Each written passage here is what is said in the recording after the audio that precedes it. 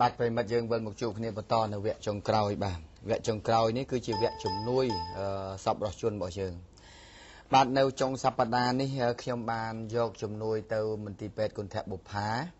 បាទដោយជំនួយដែលប្រិមិត្តរបស់យើងបានផ្ដល់ជូនមកក្នុងនោះខ្ញុំបានលុយខ្មែរចំនួន2លានរៀលបាទលុយខ្មែរចំនួន2លានរៀលនិងថវិកាដុល្លារហ្នឹងចំនួន1000ដុល្លារ បាទចឹងថវិកាទាំងអស់នេះគឺជាការផ្ដល់ជំនួយ តាមរយៈសប្បុរសជនរបស់យើងនៅទូទាំងប្រទេសទាំងក្នុងនិងក្រៅប្រទេសតិចតិចតិចតិចចឹងទៅខ្ញុំប្រមូលបានចឹងទៅបានបានតិចចឹងទៅយកទៅឲ្យចឹងទៅបាទនេះលោកអ្នកបានឃើញហើយគឺកូនកូនរបស់ប្រជាពលរដ្ឋរបស់យើងក្មួយក្មួយតូចតូចទារុទារិកាដែលបានទៅព្យាបាលនៅព្យាបាលនៅមន្ទីរពេទ្យគុណធបុប្ផា ធ្វើឲ្យពួកគេមានសេចក្តីសុខដោយសារតែគាត់គិតថាកាលណាបើសិនជាកូនរបស់គាត់ក្តៅខ្លួនក្តីឈឺជំងឺអីផ្សេងផ្សេងក្តីបានទៅដល់មន្ទីរពេទ្យគុណធបុប្ផាគឺគាត់មានសង្ឃឹមតែម្ដងបាទប៉ុន្តែឥឡូវនេះខាងមន្ទីរពេទ្យគុណធបុប្ផាក៏បានផ្ដល់នៅព័ត៌មានមួយសម្រាប់ឲ្យខ្ញុំដឹងដែរថាបាទដូចជាគាត់ចាប់ពីពេលឥឡូវនេះទៅគឺនឹងផ្ដល់អតិភិបទៅឲ្យកុមារតូចតូចដែលចាប់ពីអាយុ8ខែឡើងទៅដល់ អេបានដល់4ឆ្នាំហើយខ្ញុំភ្លេចបាត់ហើយនឹងផ្ដល់នឹងចាក់ថ្នាំវ៉ាក់សាំងប្រភេទការពារជំងឺលាកស្រោមខួរលាកស្រោមខួរហ្នឹងបាទលាកខួរតាមពិតគាត់ថាគាត់ថាពីមុនយើងតែងតែនិយាយថារលាកស្រោមខួរស្រោមខួរគាត់ថាមិនមែនរលាកស្រោមខួរទេគឺរលាកខួរតែម្ដងបាទអញ្ចឹងគាត់ឥឡូវពេទ្យនេះគឺមានថ្នាំពិសេសជាងមុនពិសេសជាងមុននឹងត្រូវចាក់ដោយចាក់មិនគិតថ្លៃទេ អញ្ចឹងចាក់ម្ដងនេះគឺថាគាត់ចាក់តែម្ដងឬក៏មួយឆ្នាំទៅចាក់ម្ដងបាទតែ2ឆ្នាំចប់ហើយបាទអញ្ចឹងគាត់បានប្រាប់ខ្ញុំសិនមិញលោកគ្រូពេទ្យបាទអញ្ចឹងថវិកាដែលបានផ្ដល់ទៅនេះគឺប្រិមិត្តដែលបានផ្ដល់មកនេះគឺខ្ញុំបានយកទៅដល់គោលដៅដើម្បីឲ្យតាមបំណងប្រាថ្នារបស់ប្រជាពលរដ្ឋរបស់យើងដែលឲ្យមកឥឡូវនេះនៅមានបន្តឲ្យមកទៀតហើយបន្តិចបន្តិចបន្តិចមកខ្ញុំសំអាទិត្យពីអាទិត្យបានរៀងក្រែងតិចយកទៅឲ្យទៀតទៅ បាទនេះលោកអ្នកឃើញហើយក្មួយក្មួយស្រីដែលជាអាណាព្យាបាលជាម្ដាយបានយកកូនទៅនោះឲ្យឡើងឲ្យអូរញងតែម្ដងដោយសារតែគាត់បានទុកចិត្តទៅលើមន្ទីរពេទ្យគុណធបុប្ផាហើយយើងក៏អរគុណចំពោះប្រិមិត្តសពរស់ជនមិនមែនតាមរយៈតហងមាសមួយទេ គឺតាមរយៈអស្ថាប័នណាក៏ដោយ ឲ្យតែបានចូលទៅដល់មន្ទីរពេទ្យគុណថវិភាគឺយើងទាំងអស់គ្នាសប្បាយចិត្តទៅហើយបាទបានន័យថាយើងរួមគ្នាជួយខ្មែរគ្នាឯងបាទឥឡូវនេះបរទេសគេមកការមកមកព្យាបាលឲ្យកូនខ្មែររឿងអីដែលកូនខ្មែររបស់យើងគ្រាន់តែជួយគ្នាប៉ុណ្ណឹងមិនបានទោះបីតិចក្តីច្រើនដែរគឺលុយរបស់គេនោះវាធំទៅហើយប៉ុន្តែយើងនេះវាតិចតួចទេយ៉ាងហោចបំផុតក៏បង្ហាញពីបំណងប្រាថ្នារបស់ខ្មែរយើងចេះជួយគ្នាតិចតិចគឺបានប៉ុណ្ណឹងហើយខ្ញុំនៅតែបន្តជួយអឺ ទទួលនៅជំនួយសពរបស់ជនរបស់យើងបន្តបន្តគ្មានទីបញ្ចប់ទេមានប្រមាណយកទៅប៉ុណ្ណឹងតិចឲ្យតិចច្រើនឲ្យច្រើនបាទប៉ុន្តែគាត់ថាជំនួយនេះមិនរីងស្ងួតចា៎បាទនេះកាលពីពីថ្ងៃសៅរ៍គឺថវិកាសរុបទាំងអស់ខ្ញុំដែលប្រមូលទៅនោះគឺមានលុយខ្មែរ2លានហើយនឹងលុយដុល្លារ1000ដុល្លារបាទហើយមានអ្នកផ្ដល់ជំនួយមកបន្តបន្ទាប់ទៀតនេះគឺយើងឃើញថា គឺជាជាការលើកទឹកចិត្តដល់ មន្ទីរពេទ្យគុណធបុប្ផាដែលដើម្បីឲ្យជួយសង្គ្រោះដល់កូនទារុទារិការបស់កូនខ្មែរយើងដែលគាត់គ្មានថវិកាក្នុងការព្យាបាលហើយសូមបញ្ជាក់ដែរចំពោះប្រិមិត្តរបស់យើងសួរមកខ្ញុំថាមានគេបង្ហោះនៅក្នុង Facebook មានក្មេងតូចម្នាក់ដែលថាយកទៅព្យាបាលនៅក្នុងមន្ទីរពេទ្យគុណធបុប្ផាដែលគេបញ្ឈរជើងឡើងលើធម្មតាចង់ធ្វើបាបកូននឹងអាយុ2ខួប បាទពីខូបតាមម្ដាយចង់ធ្វើបាបនៅមន្ទីរពេទ្យគុណធបុប្ផាតែខ្ញុំសួរទៅខាងមន្ទីរពេទ្យគុណធបុប្ផាគាត់អត់ដឹងបាទគាត់អត់ដឹងអញ្ចឹងនៅក្នុង Facebook ខ្ញុំអត់អាចតាក់ទងសុំការបំភ្លឺដើម្បីចង់ជួយដែរបើលឺគាត់ឃើញនិយាយនៅក្នុង Facebook ដូចជាកំសត់ណាពិបាកណាខ្ញុំមានជំនួយនៅសពរបស់ជនខ្លះគាត់យកមកខ្ញុំចង់យកឲ្យប៉ុន្តែមិនដឹងជួយទៅណាឲ្យចំព្រោះអត់ឃើញចាចាបាទតែប៉ុណ្្នឹងអញ្ចឹងដោយសារតែវាអត់តន់ឃើញនឹងហើយបានជាខ្ញុំអឺ មិនដឹងជាយកជួយឲ្យណានាខ្ញុំមានថវិកាខ្លះដែរដែលដែលប្រិមិត្តយើងជួយមកហើយក្នុងនេះមានលោកយាយលោកយាយលួងហាន បាទលោកយាយលួងហានគាត់រស់នៅទីទីក្រុងប៉ារីសប្រទេសបារាំងឧបត្ថម្ភចំនួន100អឺរ៉ូបាទ100អឺរ៉ូនិងកូនភាសាលីនណានិងផូលី50ដុល្លារ សរុបទាំងអស់100អឺរ៉ូ50ដុល្លារគឺលោកយាយលួងហាននិងអឺលីណានិងផូលីបាទនៅទីក្រុងប៉ារីសប្រទេសបារាំងប្រាក់100អឺរ៉ូលុយ50ដុល្លារបាទហើយនឹងលោកនាងវិសាលោកនាងអញ្ចឹងលោកនាងវិសាលចាគាត់តកូលនាងលោកនាងវិសាលនិងលោកស្រីឡាយភិរមព្រមទាំងកូននៅនៅរដ្ឋតិចសាស បាទនៅរដ្ឋតិចសាសឧបត្ថម្ភចំនួន50ដុល្លារសម្រាប់ពេទ្យគុណធបុផានិង50ដុល្លារសម្រាប់ជនក្រីក្របាទហើយនឹងខាងណានេះកឹមអេងបាទហើយស្រីឡាមួយខាងក្រោមនោះមិញខ្ញុំកត់ខាងក្រោមនោះចានេះ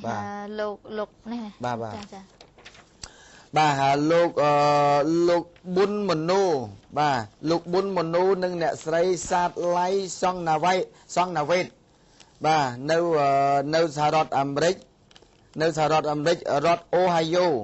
ឧបត្ថម្ភសរុបទាំងអស់400ដុល្លារសហរដ្ឋអាមេរិក200ដុល្លារសម្រាប់ក្រីក្រជនក្រីក្រ200ដុល្លារសម្រាប់គុណធបុផាអរគុណលោកអឺប៊ុនលោកប៊ុនមនោនិងអ្នកស្រីអ្នកស្រីសាឡៃសង់ណាវេតដែលរស់នៅរដ្ឋអូហាយ៉ូសហរដ្ឋអាមេរិកចា៎បាទ ឥឡូវនេះយើងសូមបញ្ចប់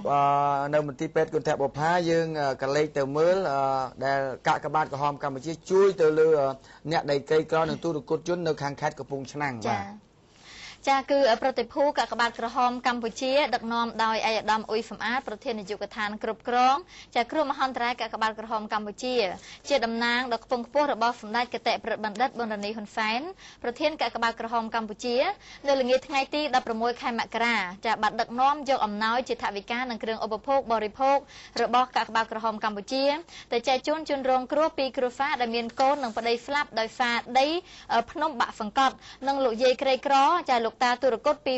ពីគ្រួសារទៀតនៅក្នុងឃុំពង្រស្រុករលាផ្អៀក្រុមគ្រួសាររបស់ជនរងគ្រោះដែលបានស្លាប់ឈ្មោះផុនសុផែនអាយុ23ឆ្នាំ នៅលាវជាព្រូបើកបរ excavator រស់នៅក្នុងភូមិខ្វិតឃុំពង្រទី2ក្រុមគ្រួសាររបស់ជនរងគ្រោះដែលស្លាប់ឈ្មោះយុនហ្វៅនឿនអាយុ31ឆ្នាំជាអ្នកបើកគ្រឿងចក្រ excavator មានប្រពន្ធនិងកូនតូច3នាក់រស់នៅភូមិហ្វ្រាំងខ្ពស់ឃុំពង្រដែលក្នុងមួយគ្រួសារមួយគ្រួសារទទួលបានថវិកា2លានរៀលអង្គ100គីឡូក្រាមទឹកក្រូច5កេសទឹកសុទ្ធ5កេសមី5កេសត្រីខ1កេសនិងខិត3ចាក្នុងនោះមានមុងភួយនិងសម្លៀកបំពាក់ដែលឡែកលោកយាយនិងលោកតាក្រីក្រពីគ្រួសារទៀតមានទី1លោកយាយឈ្មោះជួបលុតអាយុ82ឆ្នាំចាស់ជរារោគស៊ីវាយថ្មលក់ចិញ្ចឹមជីវិតមានកូន3នាក់ម្នាក់ជាជនពិការចាស់កូមខ្នងរស់នៅភូមិហ្វ្រាងខ្ពស់ឃុំពងរចានឹងទី2លោកតាឈ្មោះឡៅហៀងអាយុ96ឆ្នាំជាជនទុរគតគ្មានកូនចៅរស់នៅតែម្នាក់ឯងក្នុងភូមិហ្វ្រាងខ្ពស់បានចិត្តខាងជួយចិញ្ចឹមលោកយាយទទួលបានថវិកា150,000រៀលចំណែកលោកតាទទួលបានថវិកា230,000រៀលហើយក្រៅពីនេះទទួលបានអង្ករ50គីឡូចាមី2កេសត្រីខ1កេសទឹកសុទ្ធ2កេសនិងខិត2ចាកញ្ចប់ដូចគ្នា និងគិតពីកញ្ចប់ដូចគ្នាផងដែរឯកឧត្តមអ៊ុយសំអាតបានមានប្រសាសន៍ឲ្យដឹងថាក្រោយពីសម្ដេចកតេប្រិទ្ធបណ្ឌិតបរនីហ៊ុនសែនបានដឹកអំបានដឹងអំពីហេតុការណ៍ដែលជនរងគ្រោះទាំងពីរនាក់មានគ្រោះថ្នាក់ដោយដីភ្នំបាក់សង្កត់ស្លាប់ភ្លាមភ្លាមសម្ដេចកតេប្រិទ្ធបណ្ឌិតក៏បានចាត់តាំងឲ្យប្រតិភូកាកបាទក្រហមកម្ពុជានាំចូលអំណោយមកជូនក្រុមគ្រួសារសពជនរងគ្រោះអឺ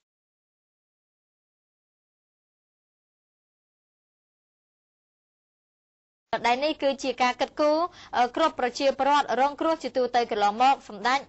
របស់សម្ដេចចាហើយក៏ជាការជួយរំលែកទុកនិងជាការជួយឧបត្ថម្ភក្នុងពិធីបុណ្យ7ថ្ងៃជូនសពផងដែរចាបាទអូដែលថ្ងៃមុនយើងបានឲ្យខ្លះចាចាឲ្យខ្លះហើយដែលថាម្ដាយស្លាប់ហ៎ចាកូនស្លាប់បាក់ដីនោះហ្នឹងហើយចាបាក់ដីក៏យើងបានផ្សាយតែក្រោយពេលដែលយើងបាក់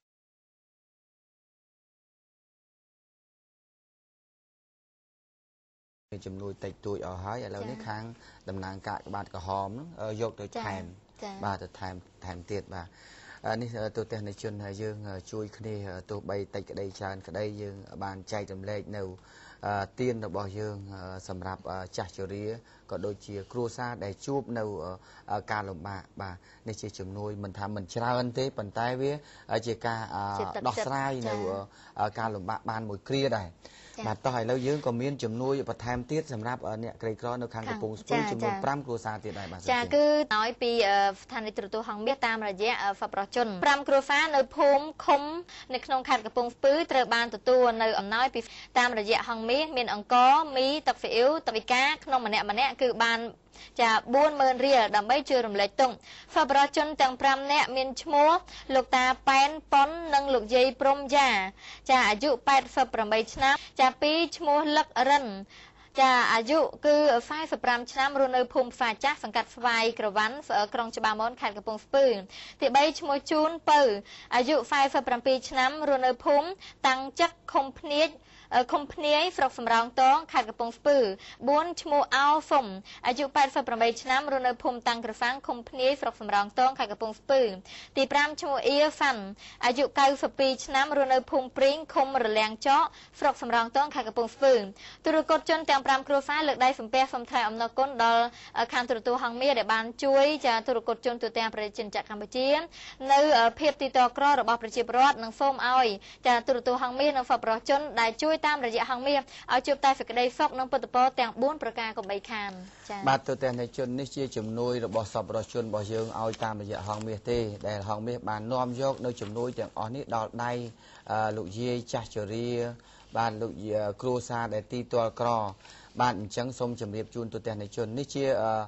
ជាថវិកាផ្ទាល់របស់សប្បុរសជនដែលឲ្យមកប៉ុន្តែគ្រាន់ហងមាសខ្ញុំខាងនេះជាអ្នកដើររកឃើញថាតើគ្រួសារណាដែលជួបការលំបាកពិតប្រាកដបាទអញ្ចឹងទេកុំឲ្យថាអេ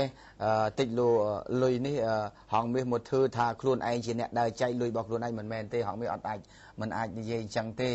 គឺទទួលស្គាល់ ទទួលខុសត្រូវចំពោះជំនួយសពរដ្ឋធរសពរដ្ឋជនរបស់យើងទាំងក្នុងនិងក្រៅប្រទេសដែលឲ្យមកបន្តបន្តហើយសូមឲ្យមគ្គផលបុណ្យ ដែលលោកអ្នកបានធ្វើតាមរយៈហងមេសូមឲ្យទទួលមានប្រាថ្នាយ៉ាងណាទទួលដូចអ្វីដែលលោកអ្នកបំណងប្រាថ្នាចង់បានបាទនេះយើងគ្រាន់តែថាជាស្ពានមួយដើម្បីយកឆ្លងតាមរយៈទានរបស់លោកអ្នកតែប៉ុណ្ណោះបាទអរគុណណាស់ចំពោះប្រជាពលរដ្ឋរបស់យើងទាំងក្នុងនិងក្រៅប្រទេសលោកអ្នកដែលបានធ្វើបុណ្យតាន់ខែភ្លឺបានន័យថាចាស់ចាស់គាត់វ័យចាស់ទៅហើយតែគាត់បានទទួលទានទាំងអស់នេះគឺគាត់អសប្បាយមែនទែនបាទហើយនឹងមួយទៀតទូទាំងនៃជននៅខាងខេត្តកំពង់ធំ ខេត្តកំពង់ធំឯនៅវិញជីវិតក្រលំបាកតោកយ៉ាក់លោកយាយលោកតាពីរនាក់ដែលគាត់បានចិញ្ចឹមចៅនៅក្នុងបន្ទុកចំនួន7នាក់គាត់ឥឡូវនេះខ្ញុំមិនទាន់មានជំនួយឲ្យដោយគាត់កំពុងតែដង្ហើយហៅរកជំនួយដើម្បីជួយដល់គាត់ពួកគាត់កំពុងតែចៅនៅក្នុងបន្ទុកចំនួន7នាក់ឯណោះជីវិតរស់នៅយ៉ាងលំបាកក្រលំបាកតោកយ៉ារបស់គ្រួសារលោកយាយពីរនាក់រស់នៅក្នុងភូមិជាមួយគ្នាទទួលបន្ទុក ចិញ្ចឹមកូននៅក្នុងនៅក្នុងក្រុមគ្រួសារនេះគឺកូននិងចៅចំនួន7នាក់ឯណោះខណៈដែលឪពុកម្ដាយរបស់គេបានស្លាប់និងរត់ចោលកូនមកដល់សពថ្ងៃនេះជាដូនជាតាជាតារបស់គេដែលចាស់ជរាកំពុងតែជួបការលំបាកខ្លាំងផងនោះក៏ឥឡូវនេះចៅទាំងអស់នេះកំពុងតែរងការលំបាកហើយអំពាវនាវសូមឲ្យសពរបស់ជនជួយគាត់លោកយាយលោកតាទាំងពីរនាក់នេះគាត់រស់នៅក្នុងភូមិត្រោយមយ៉ាប ឃុំប្រាសាទស្រុកសន្ទុកខេត្តកំពង់ធំហើយបើតាមការឲ្យដឹងពីអ្នកភូមិនោះបានឲ្យដឹងថាគ្រួសារទី1នឹងគឺឈ្មោះលោកយាយជុំរឹមបាទអាយុគាត់គាត់អាយុនោះលោកយាយនឹងគឺ78ឆ្នាំទៅហើយជាស្ត្រីមេម៉ាយតាំងពីយូរណាស់មកហើយបច្ចុប្បន្ននេះរស់នៅជាមួយនឹងកូនស្រីមេម៉ាយហើយមានចៅចំនួន4នាក់នៅក្នុងបន្ទុកហើយមុខរបរនឹងធ្វើស្រែដែលមានដីដីប្រមាណជា20អាក្រៅពីនេះកូនជាស្ត្រីនឹងមេម៉ាយទៀត បានដើររកស៊ីឈ្នួលគេ ពេលខ្លះដើរដកផលិតលក់និងបេះតកួនលក់ជារៀងរាល់ថ្ងៃដែលជីវភាពរបស់គាត់ពិបាកខ្លាំងមែនទែនហើយចំពោះគ្រួសារទី2វិញ គឺជាដូនបានជួយ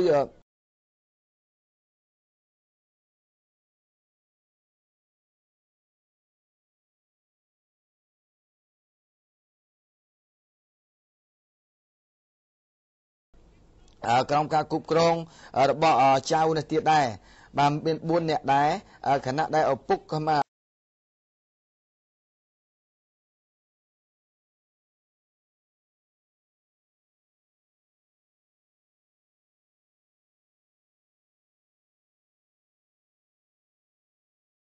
ឪពុកក្មេងជាជនពិការហើយម្ដាយរបស់គេបានបោះបង់កូនចោលអស់រយៈពេលជាច្រើនឆ្នាំមកហើយឥឡូវនេះកូនកូនទាំងអស់នេះគ្មានទីពឹងទេដែលតបូលប្រក់មេឃចិញ្ចាំងធ្លុះធ្លាយពីមុខពីក្រោយអញ្ចឹងបើសិនជាប្រិមិត្តបានឃើញហើយគិតថាមានការអាណិតអាសូរសម្រាប់គ្រួសារនេះអាចផ្ដល់តាមរយៈហងមាសក៏បានអាចទៅដល់គោលដៅនោះក៏បានប៉ុន្តែខ្ញុំមានជំនួយសប្បុរសជនរបស់យើងឲ្យខ្លះដែរអញ្ចឹងខ្ញុំនឹងបញ្ជូននៅថវិកានិងអង្គមួយចំនួនទៅមុនសិនបើសិនប្រិមិត្តបើចង់ជួយអាចមកតាមក្រោយក៏បានបាទឥឡូវយើងមានជំនួយថែមទៀតបាទសូមជើញសាលាចាពីយើងមានជំនួយពីលោកហ្វ្រេតាំងចុងណាយចាលោកបានឧបត្ថម្ភទៅដល់មន្ទីរពេទ្យគន្ធបុប្ផា